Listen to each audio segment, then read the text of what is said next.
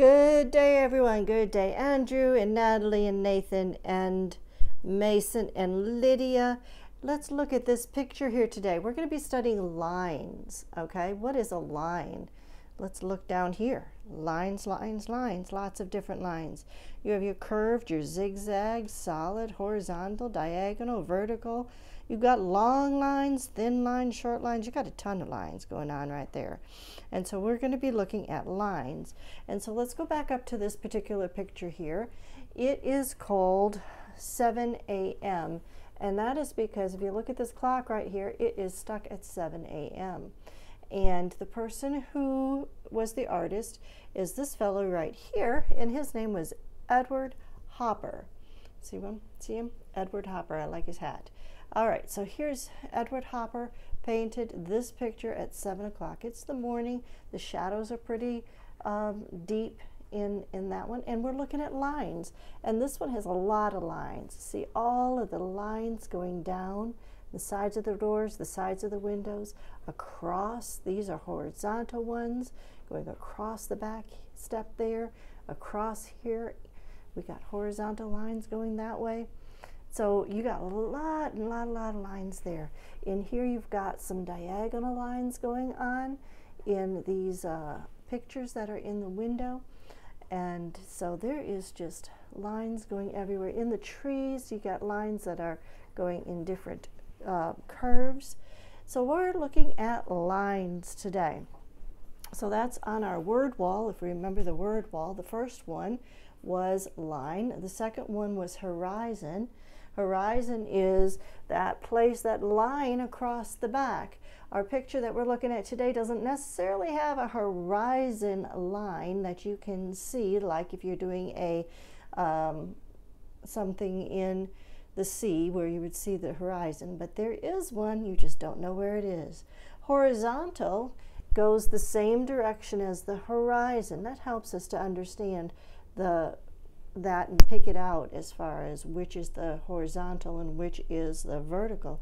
Vertical goes up and down, just like in the picture. The um, pillars and the sides of the walls and all of that kind of stuff. So vertical is up and down and horizontal is going back and forth like the horizon. Now the next one, diagonal, diagonal is on an angle there is that angle type in the diagonal. Oh, well, that makes no sense. But a diagonal line goes on an angle, goes back and forth on an angle. See that? And we don't want to forget what a warm color is because we're going to be looking at some colors today. Warm colors are your yellows, your reds, your blues, your purples. So we wanted to remember those things. And we're going to also remember we have made some uh, we have looked at shapes, we have looked at value, texture, form, and we're going to be adding a line to that circle here shortly. And there are our different pictures. So what is a line? A line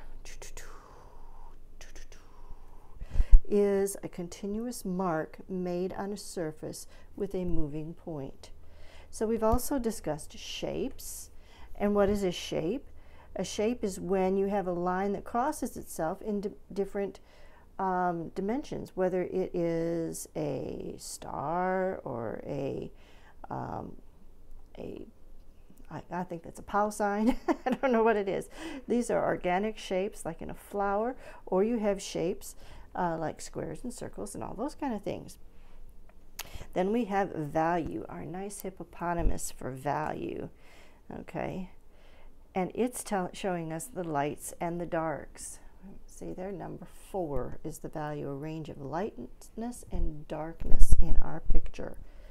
And then form in the Statue of Liberty because we it has the three-dimensional parts. It goes all different directions. That's what form will do for us. And you, in art, you sometimes make things look like it goes in different directions. And then texture.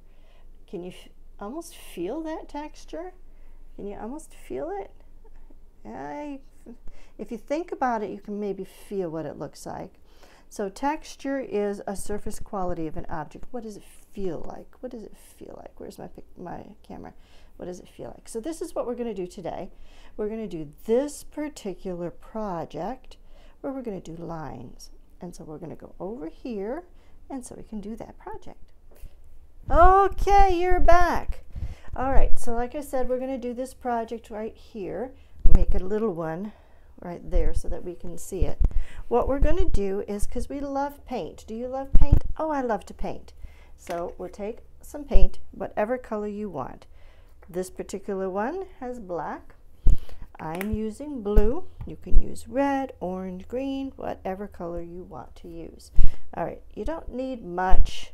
You can always get more. That's one of the things that I forget. Remember our brush. There's the bristle, the ferrule, and the handle. We don't want to touch the ferrule. That's the danger zone. Keep your fingers way, way, way back when you're painting. Then you won't get messy and you won't make any errors. So let's take our first one here. What shall we do? Let's do the complicated, easy one. Easy first, complicate first. Easy first. So let's just do some lines. Okay, you may have to get your, um, go into your paint two or three times. That's okay. So we're just doing straight lines. These straight lines are horizontal. All right, that's cool, isn't it?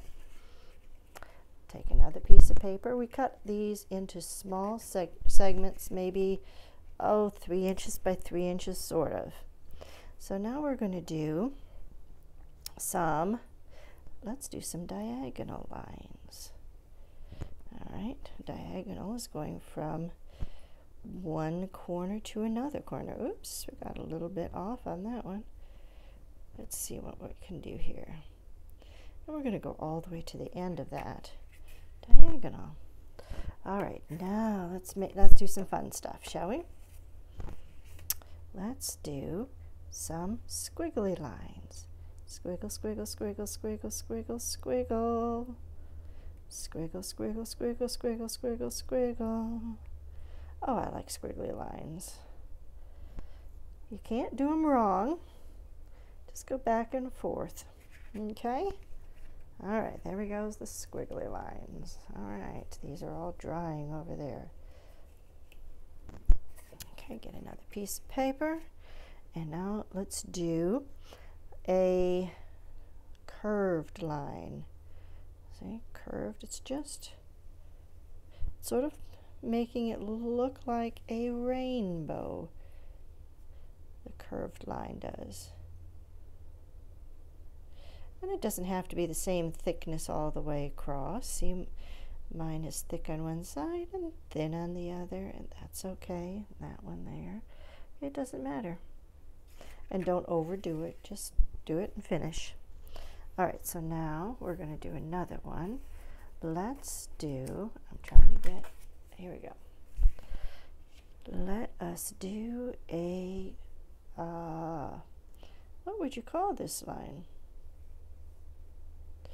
Looks like a heartbeat, but it's straight lines, but the straight lines um, come to points. I don't know what you call it. All right, so now we'll take this one and we will do, we're going to do one curvy line, just one, and we're going to go in a circle. I don't know if you can do this or not. You might need somebody to help you. That's okay. You might be able to do it really well. I don't know.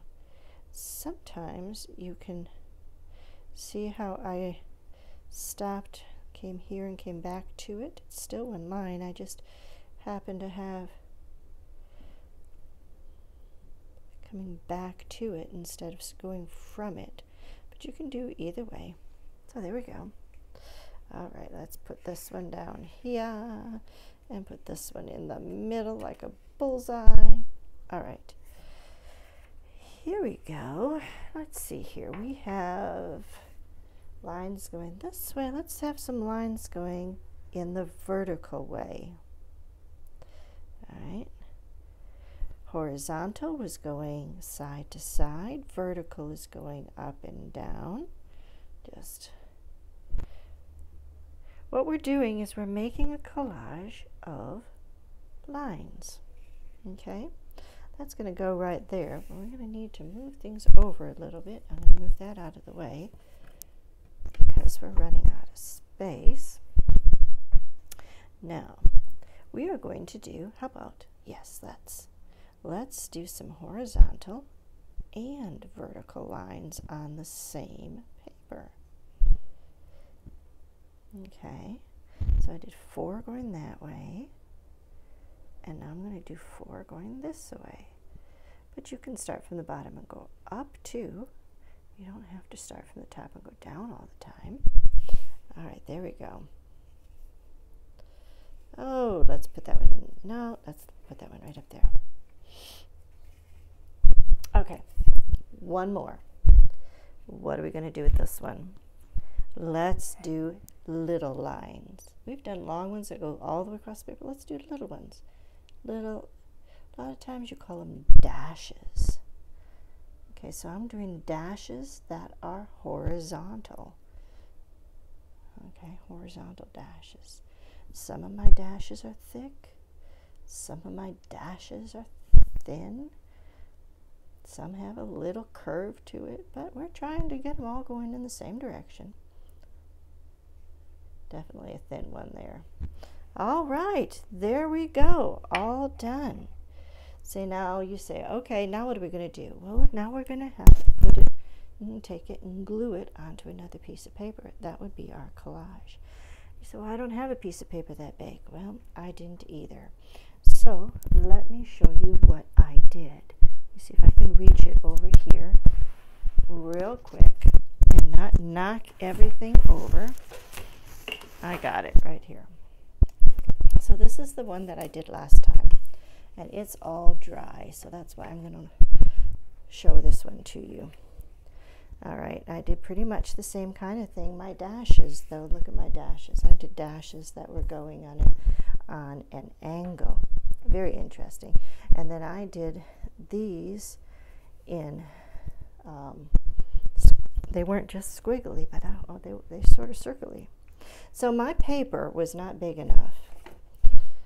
So I put two pieces of paper together and it still wasn't big enough. And so I just glued them on the edges. So if you make a square, whatever size you can, if you need to, your mom can help you to make one. Try and make it big enough. Place one in the very center and then glue the other ones on around it. And then you will have a big enough piece. If you don't have a big enough piece at home, just giving you an idea. So anyway, there you have it, a collage of lines. I hope you enjoyed it. Have a good day.